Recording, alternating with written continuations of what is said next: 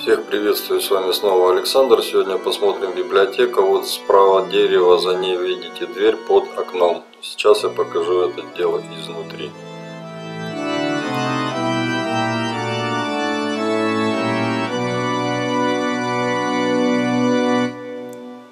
Я уже говорил, что эта библиотека очень сильно похожа на церковь.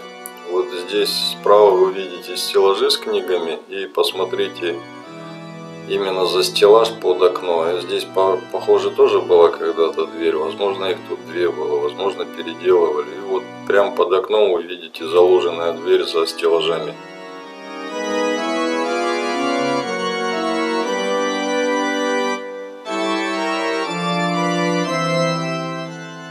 Теперь обратите внимание на своды, на купол, все как тут сделано и Недаром я говорил, что это здание очень похоже на церковь.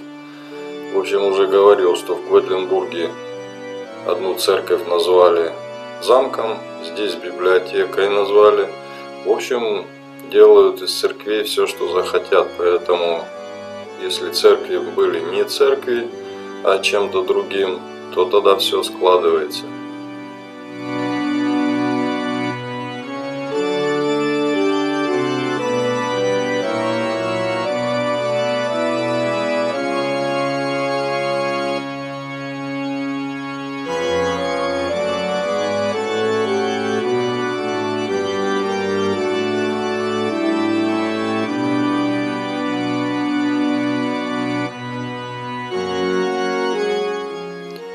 Торопитесь выключать это видео, вы увидите в нем подвалы, вы увидите серьезные перепады высот с одной стороны, с другой стороны. Также вы увидите старинные камеры. Это все в одном здании. Очень интересно, тем более в подвал я попал случайно.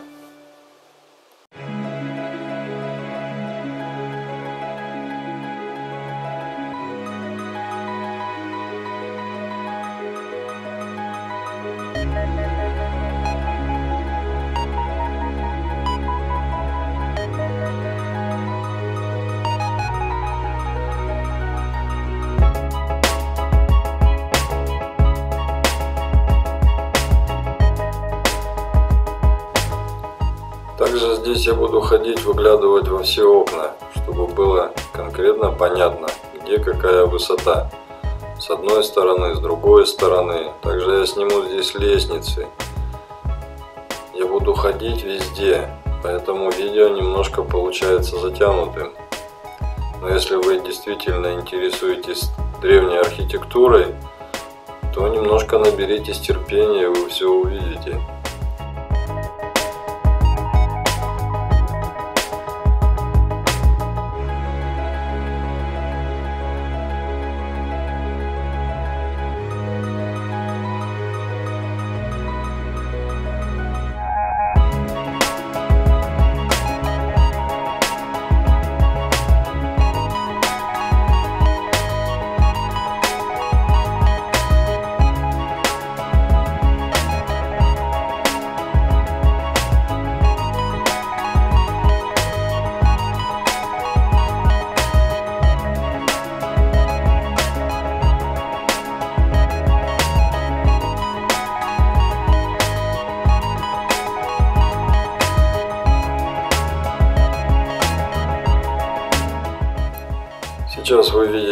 Видите парковку, с которой я снимал эту высоченную стену с другой стороны.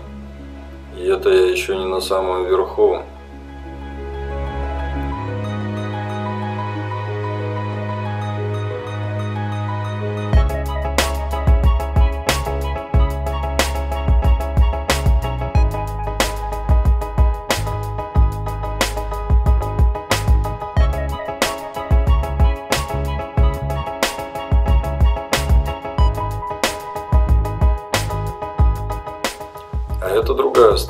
Это со стороны административного здания. В общем-то, административное здание с библиотекой это одно цельное здание, поэтому у меня, честно говоря, впечатление, что это все строилось в одно время. То, что история там по годам сильно разбила, примерно начало строительства в 30 лет, это, конечно, интересно, тем более церковь по официальной истории строилась 835 лет. К сожалению, вот на это здание я информации еще не нашел. Очень жаль, но надеюсь, может быть, кто-нибудь поможет.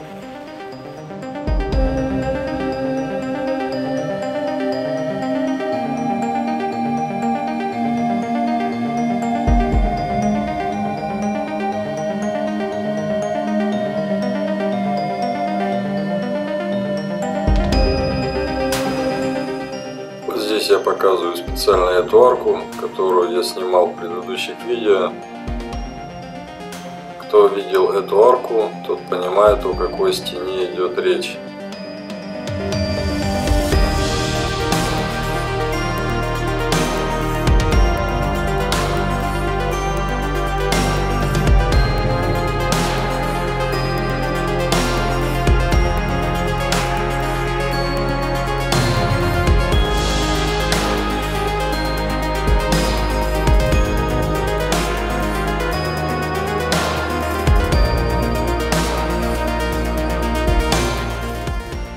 Отчетливо видно, что административное здание и библиотека это как бы одно целое здание.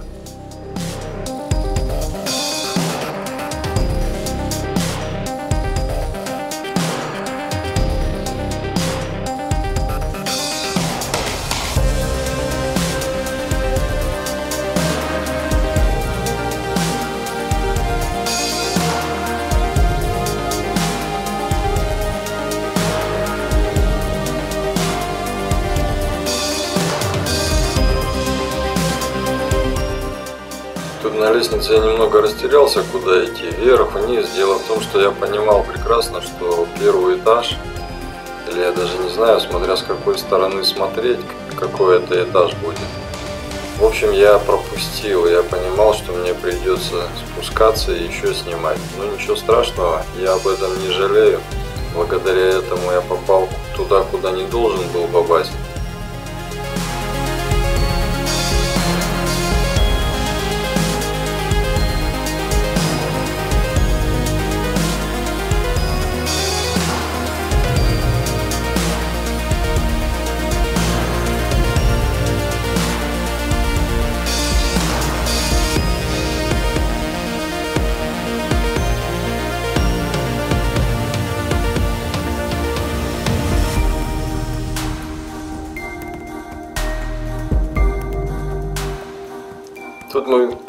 С вами видим уже самый верхний этаж библиотеки. Если кому-то не интересно смотреть библиотеку, вы можете ускорить видео. Для тех, кто не знает, наведите стрелочку на экран справа. В нижнем углу вы увидите шестеренку. Нажмите на нее, затем выбор скорости и снизу циферки 1.5, например, или 1.75. Выберите себе оптимальную скорость. Самое интересное будет немножко дальше.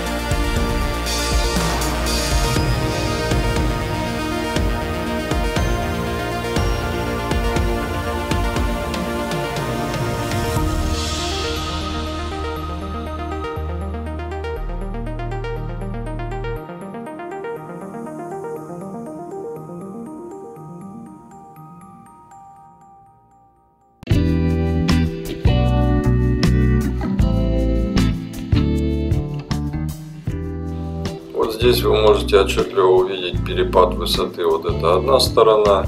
И сейчас я покажу другую сторону. А, ну да, это был все-таки не самый верхний этаж. Я ошибся немножко. Я поднимаюсь еще выше. Но тем не менее, с другой стороны это смотрится намного ниже.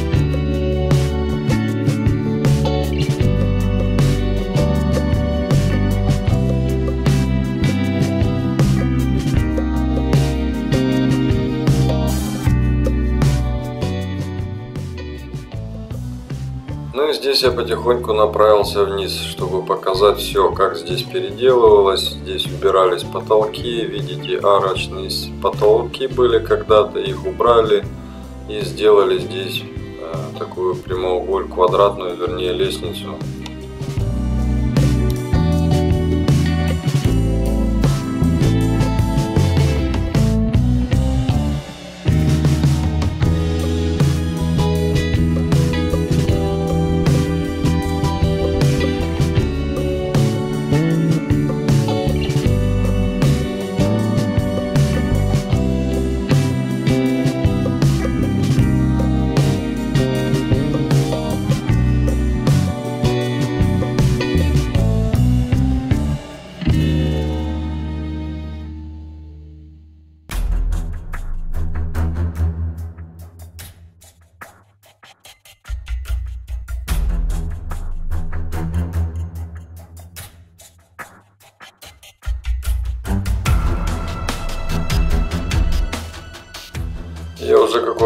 время прекрасно понимаю, что лучше дернуть дверь. И иногда она открывается. А здесь что мы видим? Подвал. Правда, углубившись в подвал, я понял, что она должна быть, эта дверь закрытая. Но тем не менее, был такой азарт, и я продвигался дальше, несмотря на то, что меня посещали мысли, что за мной дверь могут просто-напросто закрыть, а это была суббота, и мне придется здесь как минимум две ночи переночевать. Но тем не менее я не остановился и продолжил путь. Я об этом, честно говоря, не жалею. Вот сейчас сижу, монтирую, думаю, а может быть все-таки жаль, что меня там не закрыли. Представляете, две ночи провести в таком подвале. Конечно, там есть освещение, и вода, и туалеты, ну а представляете, если остаться там две ночи, а еще взять свет выключить, какие будут ощущения? Что там можно услышать? Как там можно поспать? Интересно.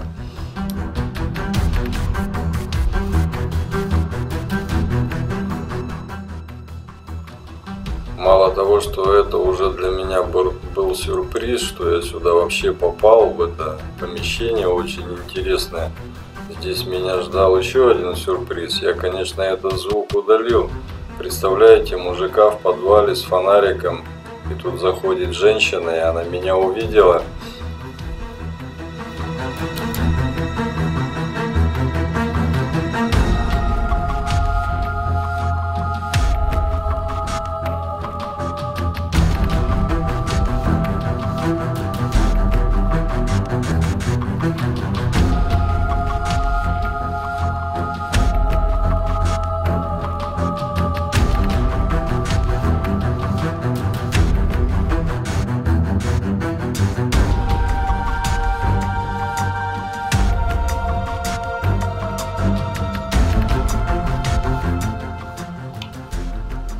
Женщина оказалась довольно милая, и она вместо того, чтобы меня поругать за незаконный проход туда, она любезно мне включила свет. Все-таки есть на свете хорошие люди, и в Германии в том числе, и немало их. Мне недавно даже подарок сделал немец совершенно незнакомый, просто взял кучу, сверил, подарил для фрезерного станка. Они довольно дорогие.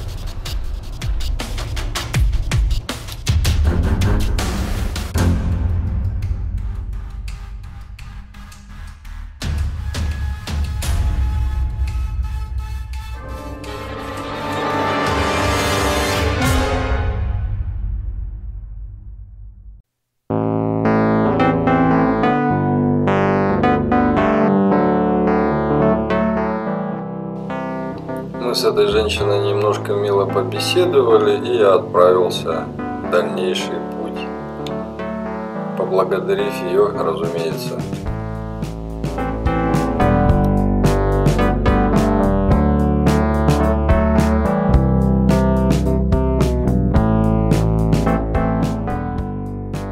Здесь хорошо просматривается, что здесь не было дверей, они гораздо позже были сделаны. И этот подвал, даже не знаю, скорее всего, тоже не подвал. Здесь, в общем-то, не очень просто так разобраться, где какая высота.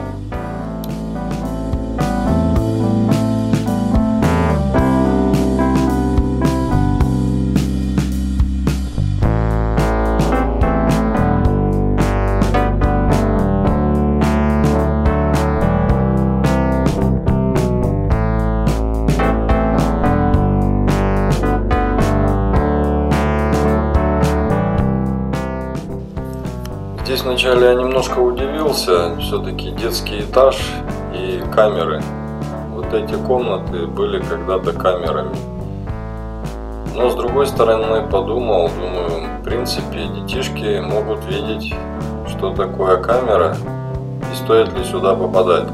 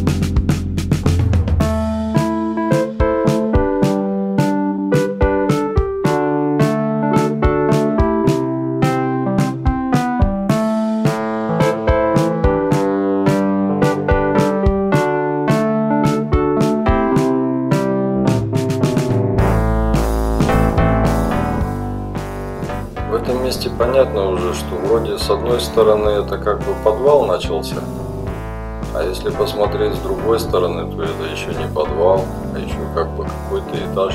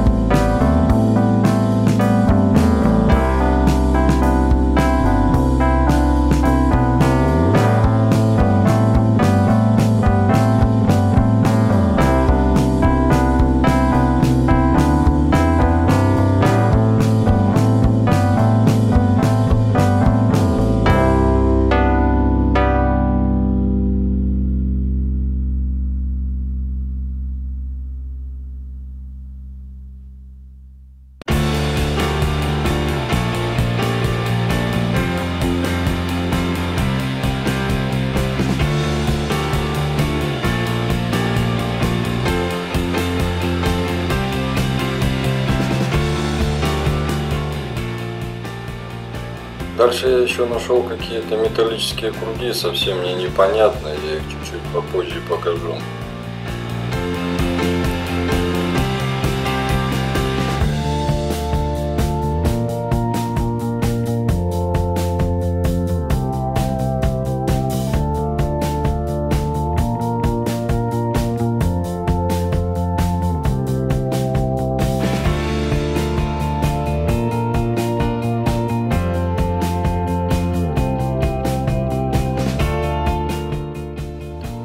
Эта дверь только подтверждает, что вот это административное здание и эта библиотека когда-то было одно цельное здание.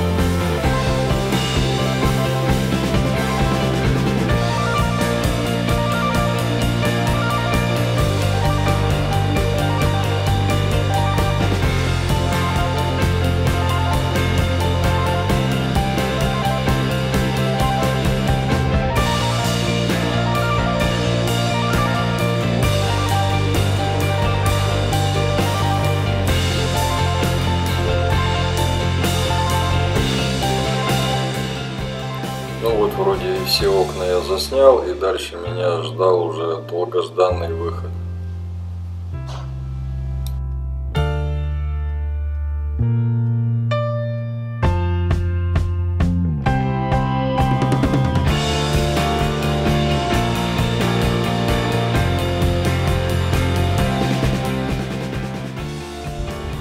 Уже отснял все, уходил, вот шел мимо церкви Липфрауенкирхе. И наткнулся на два интересных многоугольных металлических предмета. Очень огромные. Что это такое, представления не имею, когда это сделали.